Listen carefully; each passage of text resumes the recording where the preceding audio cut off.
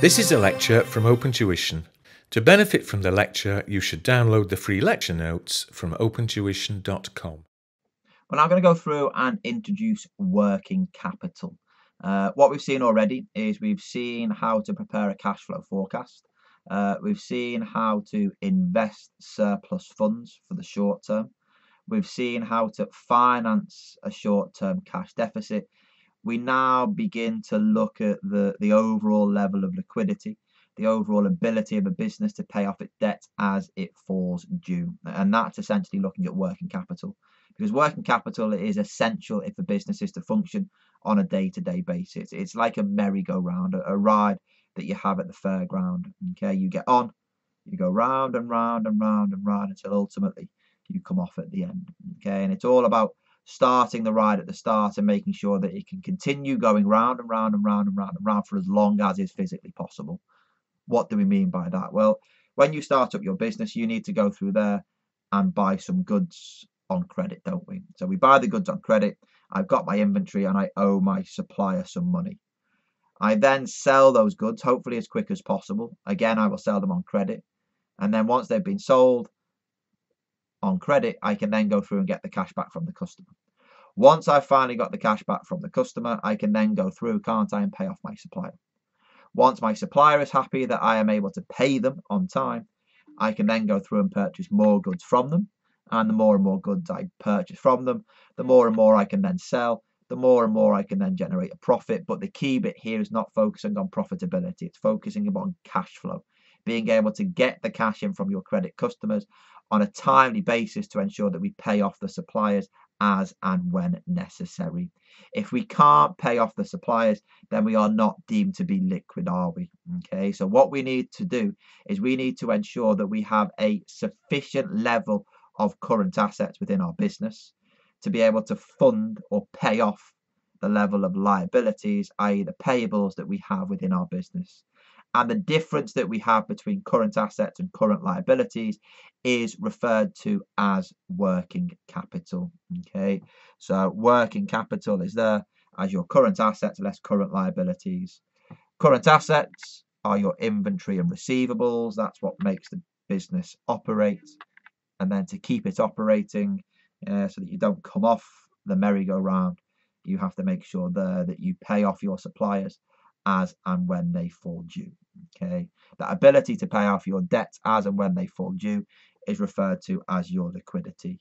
And in an ideal world, what you would want to go through and do is you would want to go through there and maintain a working capital surplus. Yeah, you want more current assets than current liabilities uh, to ensure that if there are, if you like, deficiencies that arise in terms of the collection, that there is still enough working capital or current assets elsewhere in the business to pay off your suppliers. Okay. Key bit, however, just be careful. You have to be very, very industry specific because the level of working capital varies from one entity to another. Okay. You know, if we go through there and think about the supermarket industry, know, the supermarket industry buys goods, sells goods, and hopefully should be doing that very, very, very, very, very quickly, shouldn't they? Uh, because you don't want to be going to the shop and buying cheese and milk that, that, and bread that went off days ago. Okay, so when you've got, if you like, a short sales or a short production cycle, then that business generally has a much lower level of working capital. Okay, because they don't have a huge volume of inventory, do they? Because that inventory is very perishable. Okay.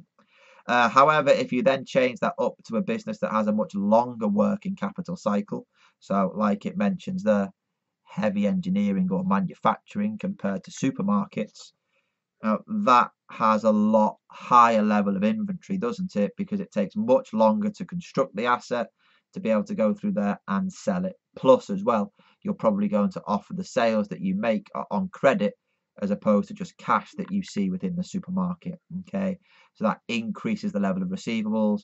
We've also got an increased level of inventory as that the goods are subject to a process with regards to the manufacturing or the construction. So you have a much higher level of working capital in a heavy engineering business. Okay, so it's really important that you appreciate that fact. Because what you need to do is you need to go through there and think about the right amount of working capital to have for your business. And unless you know the business cycle and how it operates, that would be very difficult to do within practice.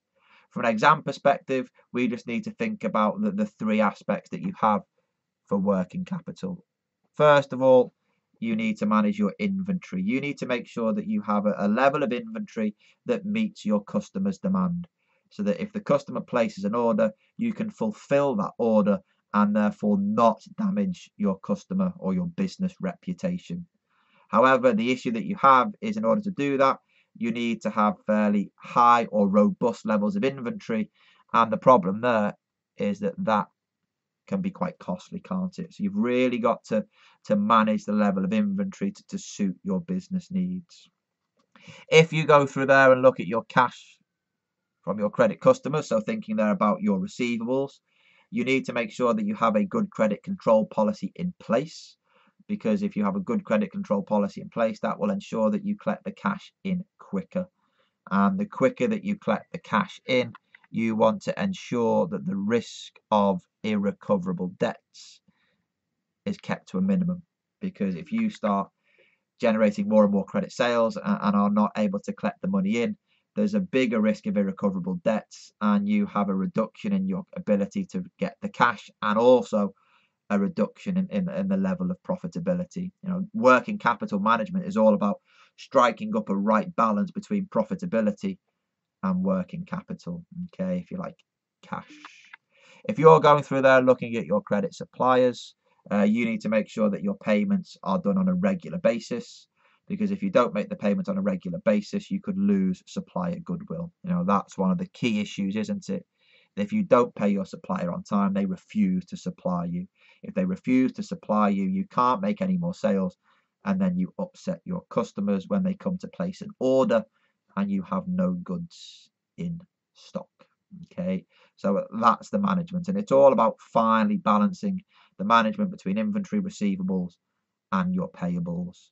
So what you've got to go through and do there is you need to think about whether or not you're going to have a high level or a low level of working capital. High level meaning that we have lots and lots and lots and lots of inventory, lots of receivables and plenty of cash. Okay.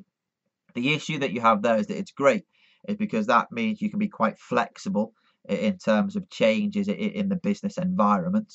But the problem that you have there is that that can be quite expensive. The reason why it would be expensive is because on your inventory, you're going to have lots of holding costs. If you're holding lots of receivables, you have the, the risk is it of irrecoverable debts. And if you think about your cash, now if you've just got cash swilling around in the business, it's not generating any interest, is it? So that, if you like, reduces the, the profitability of your business. So high levels of working capital tend to go through there and lead to reduced profitability. Okay, uh, low levels of working capital usually result in, in higher levels of profitability because you have, if you like, less costs with regard to the business. So less holding costs, less risk of irrecoverable debts. The cash is being used and it's being generated profits uh, by investing it and, and, earning interest. But the issue that you've got there is you've got a high level of profits, but if, if the business environment changes, then you are going to struggle to adapt to those changes. So when you have there, if you like, a, low level of working capital, it's higher profitability, but if you like, there is an increased risk, isn't there, if you like, of maybe default or increased risk of, of, of, of illiquidity. Okay, whereby if we're looking at a high level of working capital, that's looking there, isn't it, at a much lower level of risk within the business, but lower risk means lower return, doesn't it? And the return here, it is talking there about your profitability. Okay, so how would a business be influenced with regard to, to the level of working capital that it has? Well, its policy is one of two. We'll introduce another one as we go along, but you can have what's referred to as a conservative policy or an aggressive policy. Okay, Uh, an aggressive policy is whereby you have, if you like, high levels of working capital to try and reduce the risk. Okay, so high levels of finished goods, allowing your customers longer credit periods than what you would normally do. Uh, and you pay your suppliers promptly to ensure that you do not run the risk of losing your supplier goodwill. The problem that you have there is, as we've said, that there is increased expenses, increased profitability, you know, and the problem there is cash flow issues. If you keep paying your suppliers and you're not getting the cash in from your customers, where's the cash coming from? Okay, uh, so you could end up with your, some cash flow issues. If you're looking at an aggressive method, that's going through there and adding a bit more risk. Okay, but by taking on more risk, you increase your profitability. So reducing the inventory, improve credit control, and delaying the payment to suppliers. Not too long that, that you run the risk of upsetting the supplier and losing your supplier goodwill. But okay, uh, increased profitability, great. Uh, but you've got there, if you like it, an increased risk. So what we need to go through and do there is we think then, well, you've got your working capital policy in terms of conservative and aggressive. How do we go through there and finance it? Okay. So what we've got there is you've got the, the, the two methods. If I can just squeeze it in. There we have it, just about. Chopped the top off ever so slightly. Uh, but you've got the, we need to go through, let's go back to the top, shall we? Probably easier. Uh, yeah, keep it simple. Uh, the financing of working capital. You can either finance your working capital via short-term funds, so like we've seen in F1, uh, utilizing your payables, utilizing an overdraft, uh, utilizing maybe a short-term bank loan or maybe your debt factoring, or you can go there with, with your long-term financing, which is something you see more of within F2. Yeah, the focus here is on the short term. So what we need to think about there is what level of short-term finance are we going to use to fund our assets within the business. And the assets that you have are either your permanent or fluctuating current assets. Ignore the non-current assets for the time being. Non-current assets are usually funded by long-term finance, aren't they? Okay, yeah, it's ideal to match the financing up to, if you like, the, the, the level of debt or, the, or the, the, the, the, size of the asset. Okay, long-term finance for your non-current asset that you're going to use for a longer period of time within the business. Uh, when you're looking there at your current assets, however, you, we can split it out yet further into permanent. So that's keeping a core level of investment in terms of inventory and receivables. So if you like a, buffer level of inventory that you keep just in case uh, there's an excess increase in demand. Uh, and then what you have there is your fluctuating current assets. And, and the fluctuating current assets essentially are the changes in your receivables and payables, which will go up and down depending upon when you get the cash in from the customer and when you pay your supplier. Okay, and you can see up there, there's, there's a little bit of a diagram, isn't there? Don't worry, you don't have to draw the diagram up within the exam. Okay, uh, but it just shows there that you've got your permanent current assets and your fluctuating current assets. Okay. Uh, again, at the bottom, your non-current assets are funded by long-term funds. Uh, your fluctuating current assets should be funded by, by short-term funds, shouldn't they? Because as things fluctuate, you can address those needs on a day-to-day -day or on a monthly basis. Okay, but but what about the permanent current assets? How are they funded? You know, they are there within the business for a longer period of time uh, than maybe some of the other current assets that you have. So your inventory are probably there for a bit longer than the receivables. Uh, but at the end of the day, it's a current asset.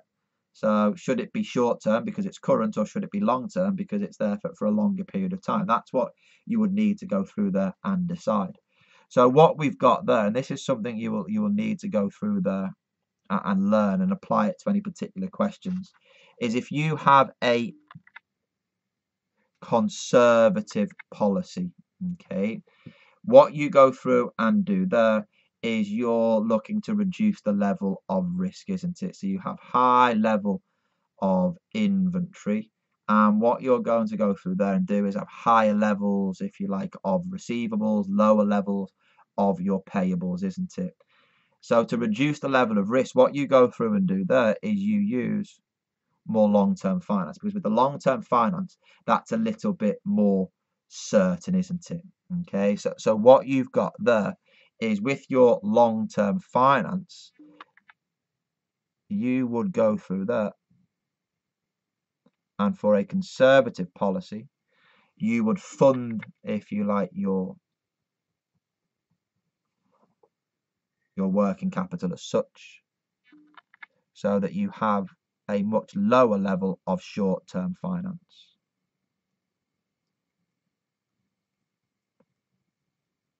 Okay.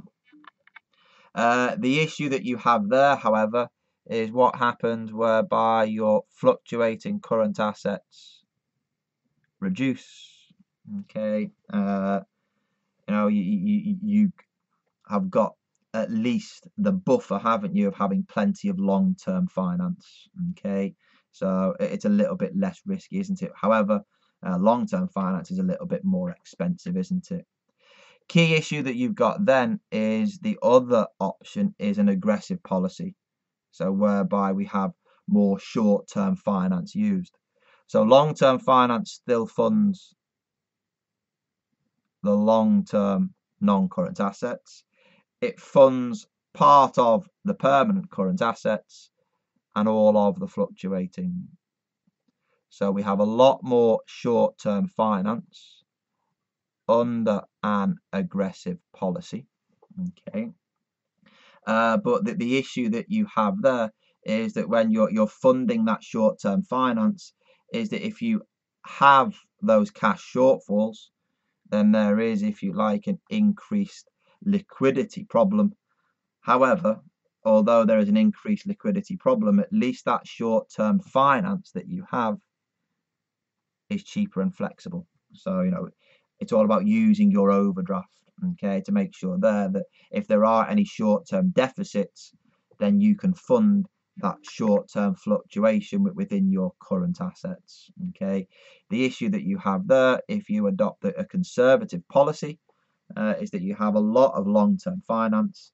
That's funding your fluctuating current assets, and at times it, it, it's not actually funding anything because you have enough fluctuating current assets to fund the business on a day-to-day basis. So you have gone through and taken on more long-term, more expensive finance uh, to, to, fund your fluctuating current assets. Okay, uh, there is no right answer in terms of what you choose. Uh, it's all about addressing the specific needs of your business.